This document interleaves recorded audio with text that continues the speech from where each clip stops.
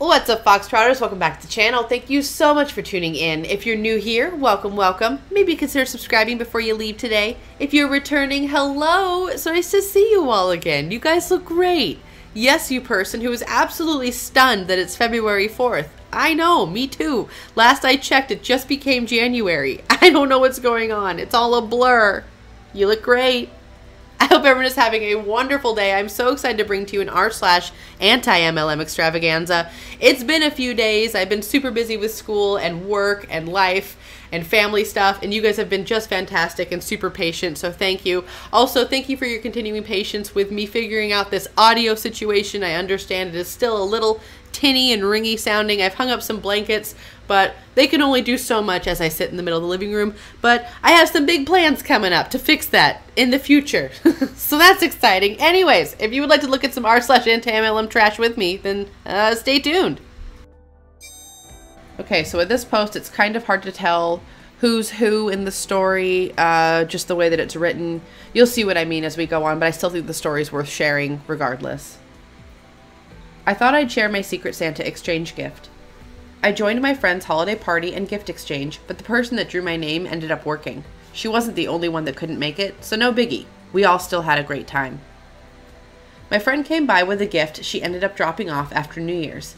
We opened it up, and it's a bunch of Mary Kay samples. Some of them opened and used. I'm very sensitive and have allergies, so I'm really picky about makeup and skincare, and just from opening the bag and looking at it, I start getting hives on my hands. My friend's upset. She texted her to tell her that she expected better. So this is what I mean, where I got confused who's who, but it doesn't really matter. And that this was not appropriate. There was a very strict no open or used products and no MLM rule for the exchange. And she said, all that product added up is well over $25. It's more like $70. And she could sell it if she didn't like it. I didn't expect someone to be so ungrateful over a free gift. Whoa. I'm not selling a bunch of used and outdated samples. She's asked to be included in her Galentine's Day party and gift exchange, so I've set it up and she's getting all these back as her gift. Oh. well played. That's really tacky uh, for a gift exchange, and you give people samples, and not just samples, but used and opened samples. I mean, ugh. I'll let like sometimes if I go buy like a, a piece of makeup and I don't end up loving it or something within the first few days of, of having it, you know, I'll give it to one of my friends or something if they like it. But that's like they know me, they trust me, we kind of have that understanding. And it certainly wouldn't be for a Secret Santa gift. It's just like, hey, I bought this, didn't work for me, maybe you'll like it, you know. Um, Eh, I don't know. Let's go ahead and take a look at the samples that were sent. I have a little picture of what those samples are. So let's go ahead and uh, see this $70 worth of makeup from Mary Kay. I'm sure it's amazing. Wow. She's really out here trying to pretend this is $25 worth of stuff. No, not just 25, actually worth $70. Um, no. I don't think so. And it has those really terrible cheap samples. You see the ones that are in the top right. Um, those are just. I've gotten something like that before. It wasn't a Mary Kay product. I think it was in like an ancient Birchbox, and they sent us one of the free samples like a an eyeshadow sampler, and it kind of looked like that, and it was just what looked like little watercolor dots of something on a piece of paper and you rub your finger on that little tiny patch of color and that's your sample. I mean, as far as samples go, it's probably some of the cheapest samples I've ever seen. Oh no. $25. No way. I think it's pretty funny though that she set this up so that this woman gets all of these samples back. Oh no. I mean, I hope that doesn't cause any drama, right? Don't don't unnecessarily cause drama, but uh, I I did think this was pretty clever, and I chuckled at the thought of her opening her package and seeing her used samples inside of it. Not interested in football? Now's the perfect time to buy more Scentsy while he's distracted. I really dislike how these various MLMs are trying to normalize being deceptive to your partner. I just I can't get over that. Right? Like we saw the LuLaRoe thing. They had something like a box you could check upon checkout that says uh, to label it as a free gift just in case you're in trouble with your husband because you've been spending too much money on LuLaRoe. Well, this is the same kind of thing. It's just encouraging deception. It's just a way for the company to guarantee that they're always going to have income, that their that their downlines are always going to be buying more product and more product and more product because they just keep encouraging this environment where it's okay to just go and blow all the finances, every last bit of it on some wax melts. And I have heard some of you say down below in the comments that you guys unabashedly enjoy Scentsy. And that's fine. We've already talked about it. Everybody has their things that they may like or not like, and everybody's different. I have just heard, I have just heard through the grapevine that there are more affordable wax melts that exist elsewhere that are comparable in quality. Um, I can't exactly confirm that as I am not someone who purchases wax melts, but it's just something I've heard. So I don't know. Maybe if you're into Scentsy, uh, maybe check out something else. But I don't know if you really like it and there's like a smell that you get from them that you can't find anywhere else and it makes you happy. Well, darn it, I don't want you to not be happy. So, you know. MLMs are not small businesses. Hello. I know this has been discussed before, but I just really need to share this frustration. My mom and I went to a local market yesterday, and we were so happy to share the space with so many other people who came out to market and network. But my God, the Scentsy and Arbonne booths at the local small business marketplace were so out of place. Not only this, but the Arbonne girl came and tasted our cupcakes and told us the flavors were overpowering and they were too sweet. But in the most saccharine sweet way. It almost sounded like a compliment. I can't get her annoying voice out of my head. Maybe they tasted sweet to a person who does nothing but 30 day tea fasting cleanses and eats nothing but artificially sweetened protein powder.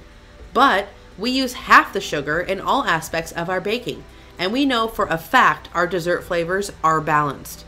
Finally, at least our desserts were actually made by us and not a multi million dollar corporation. Get out of here with criticism. You literally are a shill. Please. Thank you. This has been my rant. Well, if it's any comfort or consolation at all, just know, OP, that you are not the only one who is frustrated by this. Um, you have a lot of us behind you on this one. And I do think it is odd that the Arbonne Hun dared to say anything about how your homemade food tasted bad. Like, like you pointed out, at least you guys were the ones who made it. You know exactly the ingredients that went into it, which is way more than that Arbonne Hun can say about the products that go into making her ridiculous fake sweetened protein powders that they're always bragging about, like $75 a bag for protein powder. no, thank you. A Thrive Boss Babe's real earnings over the past two years. Oh no. Oh wow. In 2018, this individual made $59, you guys. 59 oh sorry $59.17 and then in 2019 they were able to double that which i guess good, good job. So they made $118 for the year.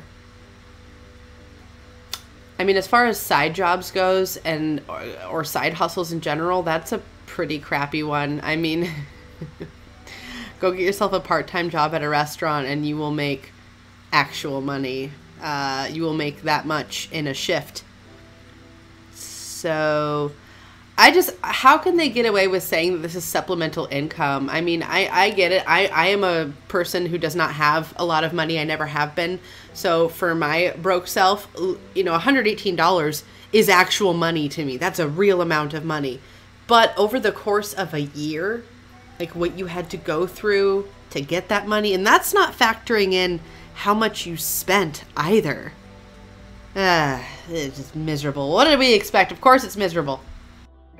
Well, if anyone has ever wondered, um, how do these Huns treat each other? Like, let's say if they have a downline or something. How do, how do they treat them? I, I'm sure they always treat them fine. Totally. Oh, wait. LMAO, my one of my downlines. Wow, that already so well written. Lamau, my one of my downlines just blocked me because I was rude to her. I'm the reason you're in this business, blank. So I am gonna blank make sure you're taken out of it and nobody buys from you. So you're stuck MMP for the rest of your time. Cool. Don't buy products from blank. She's a snake. Wow. You're really cool for doing that. Way to take the high road. Man, that's definitely going to make you look good in the end. Definitely, man. Mm-hmm. I can't see anything wrong with this. No, that seems fine. Yeah. Just go ahead and unprofessionally attack someone on a social media platform because of something that's probably really dumb. And maybe you deserved it. maybe you were rude to her. I mean, not maybe. Why is it even a maybe? Look at this post you just wrote. Obviously, you were rude to her. I don't blame her. And I had to blur out some nasty cuss words that you said to this person as well on social media. Just a real class act. yeah, you're going to feel really good about that in a few years. Mm-hmm. I'm not entirely sure what's going on here, so I need your help. but the person in gray is apparently not a consultant, but the way they're talking and responding to the person in blue makes me really suspicious.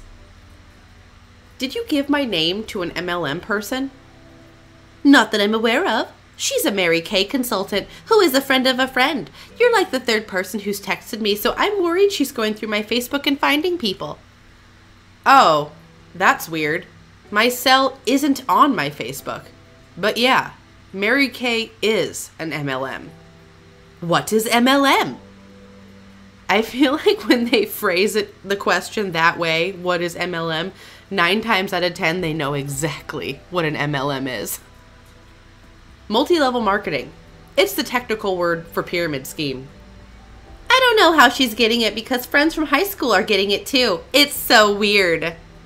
Yeah, it is so weird, especially since they're your friends from your Facebook.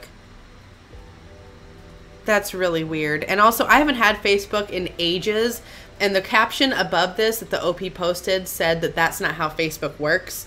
And regardless if that is or is not how Facebook works, the person in gray makes me feel so suspicious. Like the the way the information was pitched, um, the way they asked the question, "What is MLM?" and then they just finished it with, "It's so weird." Like, yeah, yeah, it is. You sure you don't know anything else about it? No? Yeah, all right. My sister is a waitress and got this. Then the same guy tried to do it again. She now refuses to serve him. I swear, I keep seeing this, and maybe it's because I am a server and I work in the industry. Be- when I see this, it fills me with such a level of rage. Anyone out there who works in the industry, who works any kind of, well, customer service in general, but especially service industry, you know, like waiting tables, uh, bartending, any, any of that stuff where you're right on the front line, so to speak. Um, your tips are your money. That is your paycheck. Uh, in many states, you make very little hourly. In some states, like where I live, Oregon, you get minimum wage, which is great, I know, but the cost of living is getting higher and it's a whole thing. I could go on and on about it, I'm sure. But a lot of states have very low uh, minimum wages uh, for for people in the service industry. Like when I lived in Arizona, I think my average hourly wage might have been just under four dollars. And then I lived in Boston for a while and I waited tables out there and I think I got about 263 an hour, uh, which means that when you get your paycheck, it just says void this has been used for your taxes and you don't get a paycheck. It just says zero. and you kind of laugh. Haha, nice. But for people who depend on their tips for their paycheck, this is cruel. I mean, this is this is cruel. Yeah, okay, a hundred bucks is a ridiculous tip to put down. I understand that. But to not put any tip down and then to put down something that looks like a really big tip but then it's just a business card saying hey come sell for what is this paparazzi 500 per month family to meet necessary do it doesn't even matter oh it works itworks.com there it is Took me a second, but I found it. I mean, frankly, it doesn't actually matter. Wouldn't matter what MLM you're with, or even if you're not an MLM, any business at all. Don't ever do this. Shout out to username Jame Incorporated for making this post. My aunt wouldn't take no for an answer, so I tried to restrain myself and communicate my seriousness as nicely as possible. When I complain to my father, he expects me to just accept it so as not to alienate my family. So frustrating.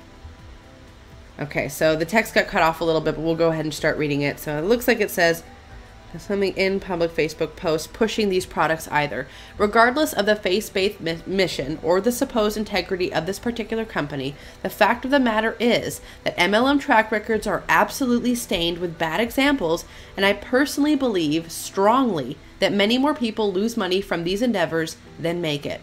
Well, it's a good belief that you have that because not only is it something you strongly believe, but it's also true. It's just factually very true. Once again, I do not wish you bad fortune, and if this works for you, so be it. But our familial relationship shouldn't automatically enlist me as a potential business partner. Wow, put that on a shirt. I love that. We talk twice a year, and I haven't seen you in over five. The first time I hear your voice for more than two minutes in half a decade shouldn't be because you're excited for me to try coffee. Have a great day.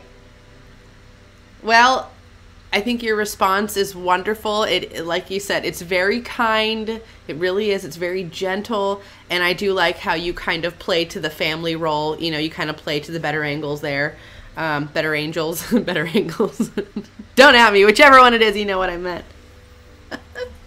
but yeah, I really like the part where you say, "But our familiar familial relationship shouldn't automatically enlist me as a potential business partner." I mean, that's that's perfect, and that could be for people who are friends with people as well when they join MLMs. You know, a lot of times they assume just because they have friends and family that like them that those people are automatically going to help them with their business endeavor. You know, and you know, I feel kind of bad for your dad because maybe he doesn't fully understand kind of how bad these are, these MLMs are, or how deep the hole can be for some people. And I don't know, maybe it's just easier for him to do the head in the sand method. but, you know, in time, stuff always comes out in the wash, one way or another. Okay, guys, my friend Blank keeps showing these lash pics and I can't take it anymore. This is the best mascara on the planet right now. This is going to give you legendary lashes that everything or everyone is going to be be talking about. Here's my referral link if you've been wanting to try this too. Josie is the real deal and will hook you up, no pressure. Uh, like the caption says, when you forget to post the referral link, I'm not correcting her. Yeah, no, don't. and I edited this one out because I, I don't I, I feel kind of funny sometimes showing people's faces on here. Like I know they posted it publicly on their Facebook or whatever, and then it got posted on Reddit, but I don't know. I guess I think about it and like I wouldn't necessarily want that for me, but like I guess if I were putting it out there, that's like my own doing. I don't know. I have mixed feelings about it. Anyway, I edited this one and I drew on a nice smiley mouth so we could see how happy she is. But what I really want to focus on here, besides oh her nails, I love her nails. I I, I purposely didn't color over her nails. because I like them. Anyway, but with her eyelashes, you can clearly see that there is either a band that is glued onto her eyelid or those are eyelash extensions. One or the other. There is absolutely no way. I mean, I guess there is a slight possibility, but I'm just going to go ahead and say there is no way that every single one of her eyelashes is exactly the same length naturally. There's no way. Like I said, I guess it's possible. Is it likely? No. Those are not her natural lashes with mascara on them. Please stop lying. Maybe you put mascara onto your extensions. I don't know, but you can't fool me, hun. I I'm like staring at it. I'm really trying to see if maybe I'm just making this up. But it really doesn't it look like there that, that there's a lash band there? Like it looks like the lash the line looks extra thick above where her lash line starts. I don't know. Maybe maybe I'm just making it up and I'm the jerk here, but I'm just I I really feel like that this is fake lashes and not her mascara on her natural lashes at all. What's the consensus? What do you guys think down below? Let me know. Oh man, I swear posts about people joining MLMs used to be funny, but the longer it goes on and the more I see, the less I find them funny. So I did a thing, a very exciting but very nerve wracking thing. I started a new journey with an incredible company. I will be representing an incredible health and wellness business that has premium organic plant based products. What do you guys think? Is it Arbonne? It Works? Herbalife? Let me know down below. There, there was nothing written on this one, so I honestly don't know. So your guess is truly as good as mine this time. I never thought I would be that girl that is getting into a pyramid business. Oh, she almost said it. The caption above said a hun almost became self-aware. It's true, she almost had it. but I've been watching my friends for years be so successful with it, so I figured, why not now? Instead of having to work three plus jobs going into marriage to make ends meet, going into marriage? That's just, never mind. Why not give something a shot that has already been so successful for so many people? Before you unfollow me, give it a chance. It's worth at least checking out, and I would love to take you on this journey, or oh, I would love to take on this journey with you. Sorry, the writing in this one is strange. If you are interested at all, comment a party horn or DM me. Oh no. the moment where she almost became self aware, though. Oh man. It's like watching those unsatisfying videos where someone's like swinging a baseball bat at like a TV, and right before they connect with the TV, it cuts to the next clip. Like, oh, oh no, oh, dang it. We almost had it.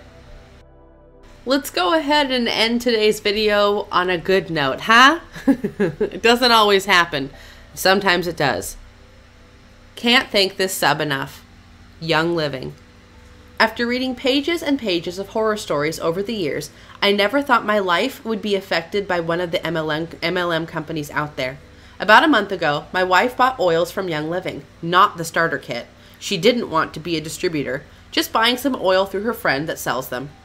Long story short, in the span of a month, She'd spent over $1,200, became a distributor, was planning on attending the Young Living conference this summer with all her oil friends, and was going to propose to me that I buy a starter kit under, under her to start building her downline. Over that same month, there have been many discussions about keeping it a hobby. If she wants to blow a couple hundred bucks on oil, go for it. I buy Legos, and she doesn't say anything. But it's when she mentioned wanting to include pictures of our child on her Insta posts as well as using oils on him that I lost it. Well, frankly, that was a good place to stop it at, though. Those are pretty big red flags, so mm, well done.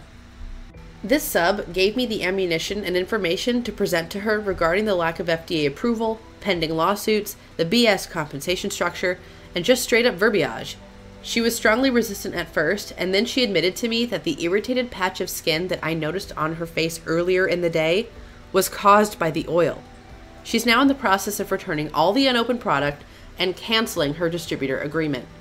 During coffee this morning, I could already tell that my wife was back and she recognized her errors. I shared this group with her and she was in awe of all the similar posts to what she had seen. To those that are still in the fight with their spouses, don't give up. I'm really glad that we got to read one that ended on a positive note because I feel like, what was it, a couple videos back, maybe a few videos back, there was a story that I read about a marriage that fell apart because of someone's involvement in an MLM, and it was really hard to read, and um, I don't know, it just kind of made everything seem that much more real. We know the consequences, like we see them, we hear about them, but then to really get that kind of real visual from somebody about how their life has fallen apart because of it, their marriages, etc. It's it's really hard. It's difficult. It's uh, it's ugly, and um, I don't know. I guess I'm just glad to see something end positively for once. It's everyone's favorite time of the day. It's wholesome moment of the day. Let's see who you guys sent over. For wholesome moment of the day today, I am going to do something a little bit different for no reason other than I just kind of felt like it. so normally in this segment of the video, as most of you know, I show off your wholesome submissions. And this time I decided I want to show off my dogs. Honestly, just because I love them so much and they're so special to me. And I will continue to always do the wholesome uh, moment of the day at the end with your submissions. I love doing that. But I just today I just kind of felt like mixing it up. so Tippy is the older one of the two. She is about two and a half, and she was a rescue from this elderly couple that lives out on the coast, and they had got her originally as a puppy, and they had a big farm property, and they thought they could take care of her, but they were just too old to be able to give this crazy border collie what she needed. And frankly, sometimes I wonder if I'm enough too. So it's understandable. Border collies are a, they're a whole thing. and then Boots, oh my god, Boots, he was a rescue from an animal shelter out in I think it was Tualatin, Oregon and um, we got him originally at about five months old and he was so small and so scared and now he's just like a big old chunk of goofus and i just love him so much. I love them both. And the fact that they match really was accidental which you probably don't believe because my cat is also black and white all of that was accidental. I swear. it just happened that way. Anyways, I love them. Don't you? They're so cute. And if you're looking to get a new member of your family, I definitely recommend to adopt and not shop. Check out your local shelters, your local humane society, donate if you can, volunteer if you can, foster if you can, and don't forget to spay and neuter your pets. And if you want to see a photo of your pets here, then go and send it to my email in my channel description, and you will see your pets here eventually. All right, Foxtrotters, that's going to do it for me today. Thank you so much for tuning in. If you liked that video, please hit that like button down below. If you have any good comments or suggestions, please leave that down below as well. I love to hear what you have to say, and I love interacting with you all. If you have not already, hit that subscribe button and become a Foxtrotter. Come join the den. Den Mother would love to have you. Alright folks, I hope you got a kick out of that video. I plan on having that Younique video out in the next maybe a few days or so. I'll keep you guys updated, but in between then be on the lookout for an r slash who knows what to fill in the blanks. And I also am working on that subscriber appreciation video that should probably be out maybe at the end of this month, maybe the beginning of next. I will keep you guys updated. Thank you all so much for being so supportive of me and letting me go do my studies and uh, giving me the confidence to take my time where I need it. And you guys are just absolutely wonderful, and I am so grateful. All right, folks, as always, until the next video, take care.